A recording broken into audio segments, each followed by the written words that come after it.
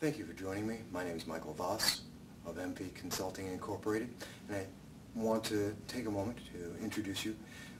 We're going to be speaking with Mayor Matt Ryan of Binghamton, the city of Binghamton, as well as listening in on the Binghamton City Council as they discuss uh, one of the initiatives for gun control that has become popular today, uh, that has been around for a while, which is the Mayors Against Illegal Guns, and some of the ideas that they are presenting. It's a coalition of 900 mayors across the country, and they have some ideas on how to better help provide safety for the nation. Afterwards, we're going to be speaking with Mayor Matt Ryan, briefly, uh, if we can, and we're going to be asking him a couple of questions uh, just to get some more information about that. We thank you for joining us, and we hope that you're going to have a great uh, Mayors Against Illegal Guns, and obviously in the wake of the latest tragedy, uh, there's a real push on for um, something to be finally done after Sandy Hook.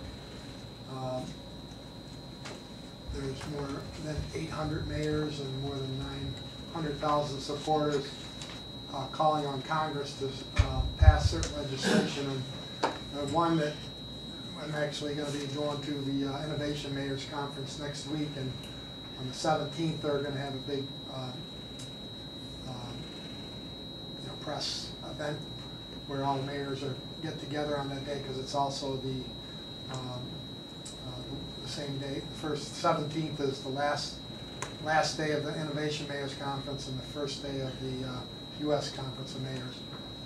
Um, And basically, they really want to push for uh, three main things, and they, when they're asking ma- uh, mayors and councils all across the country to uh, pass resolutions in support of. Uh, The three main things are, and I- we've asked Jeremy to uh, reduce it to an ordinance, and I guess he went to print it, and we thought it'd be done, but the three main things in it are uh, require criminal background checks for all gun sales. There's a, there's a big loophole in, in gun shows where it's very easy to get around the background check, and they want to really close those loopholes and make sure that everybody that buys a gun, including at gun, gun shows. Um, The other one is ban military-style assault weapons and high-capacity magazines. I think uh, a lot of people have stated that we, you know, we we certainly don't want to infringe on people's Second Amendment rights, but uh, there's no real need for uh, citizens to have uh, high-capacity magazines, um, and that's another thing.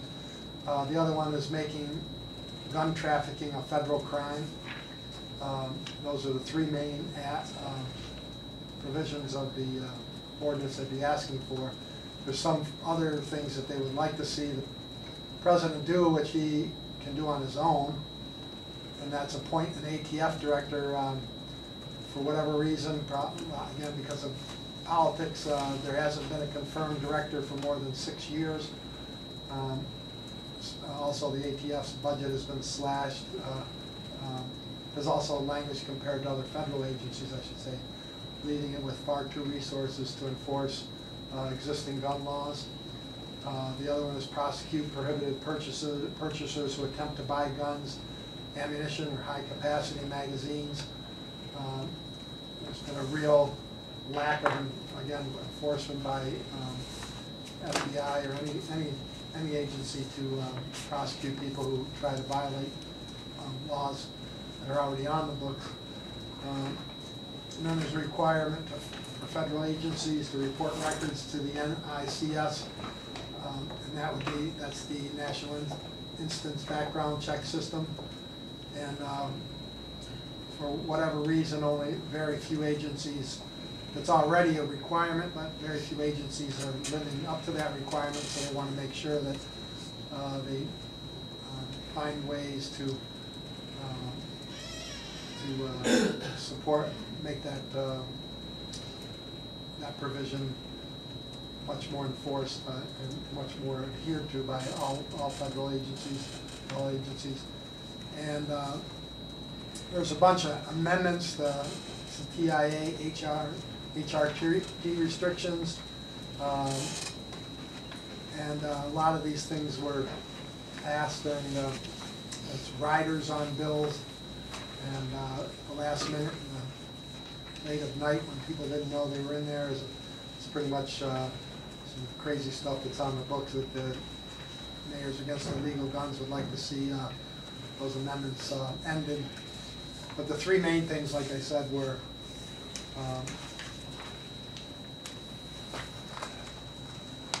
we would actually be passing a resolution, hopefully, that would accuse all, include all these things, but uh, I I think that they've been very well thought out, uh, thought about by uh, a lot of people. Mayor Bloomberg is one of the leaders on this, and uh, been part of this coalition for quite a while. And it seems like there's the wherewithal to finally do something. I know, I did a little research during the time I was in this.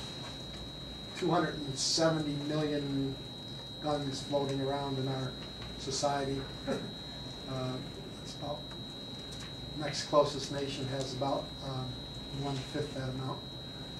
And, uh, you know, we want to be able to make sure that those guns are, we know who has them, especially illegal guns, and, and we make sure we try to keep guns out of the hands of people who aren't supposed to have them. That's what the,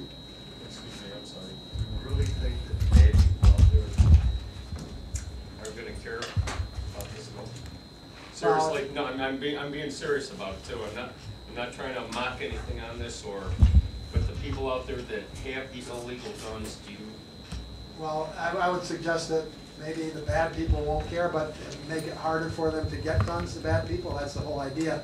And, uh, for instance, for instance, uh, the first one I talked about is, you know, you can, almost anybody can get a gun through, uh, through a show, through a gun show, and they're very lax. So, bad people can go to those gun shows and get guns.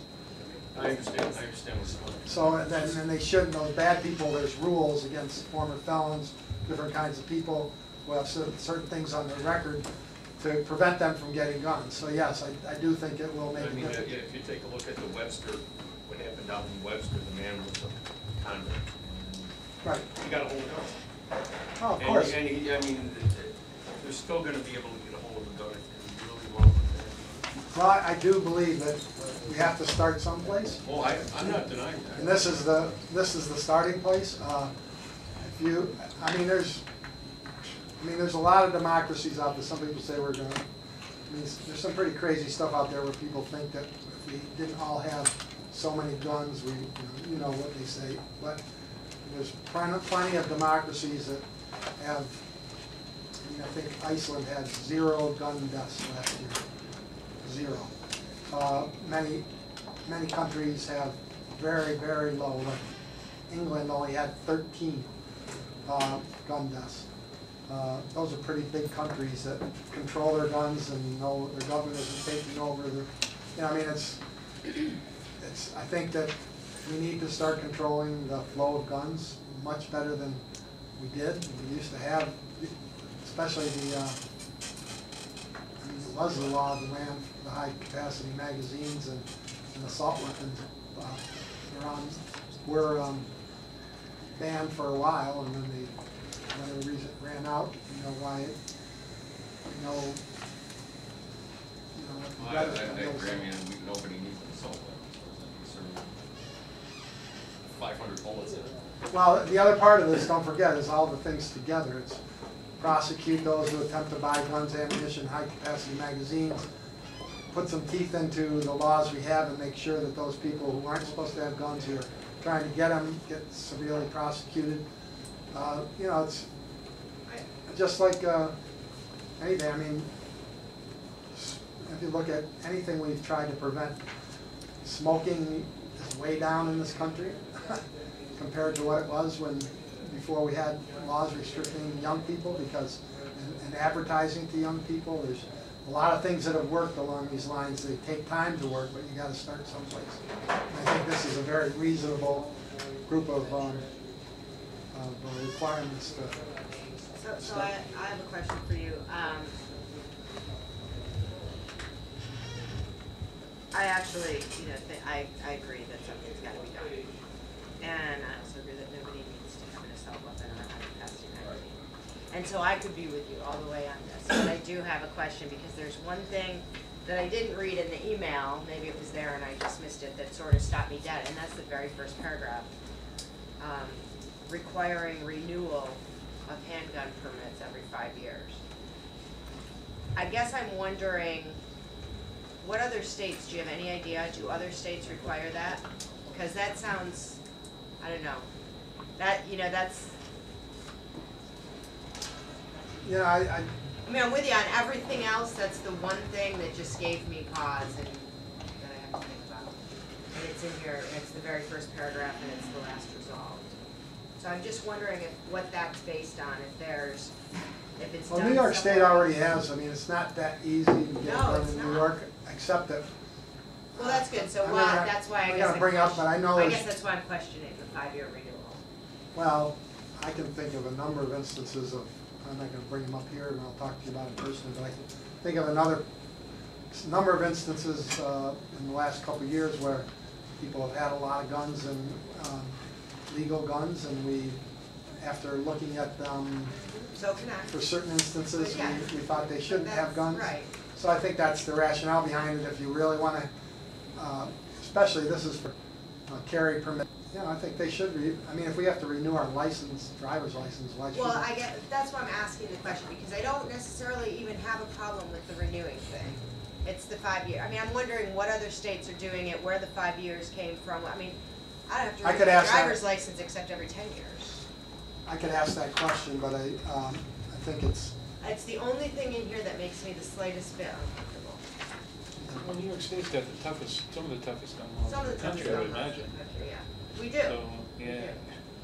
well, and again, this is All a, sorts of don't forget, this is a mayor's national against handguns, so we might have some more restrictive things than this already. Uh, But you don't renew it.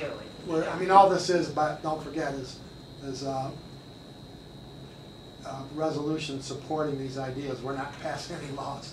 No, I understand that, and I wanna support it, I really do, but I sorta need that, I need to have that answered, because Okay. that does make me uncomfortable. I understand, you know, personally, certainly I know reasons why it should be too, but I just wonder where it comes from. Okay.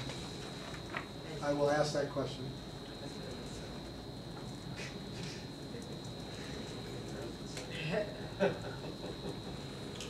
Okay, other questions? Thank you for bringing this. Well, actually, it's not asking, if you read this carefully, I think it's not saying we should change that. What it is saying is, uh, that we should, because that's the fact. Uh, The way I read it is, because that's a fact. In the last resolved, we wanna urge resolved. the governor of the state of New York to enact sensible regulations that require renewal of handgun Oh, permits. okay. They're not, it's not required now. Okay. I, that I knew, I, but uh, the way I was reading it first, I thought it meant, because of that, we wanna see, especially wanna see systematic ba- background checks and stuff like that, but I. That, that I'm all, that I'm all for. It's this renewal thing that's stopping me. Again, it's, again, it's, um, like I said, we're not, certainly, the- we're just, uh, we're gonna pass a, a law that, I mean, we don't have the authority to, uh, regulate guns, I don't think, but, you know, so it's, it's just, Thank you. we will, I'll ask about that.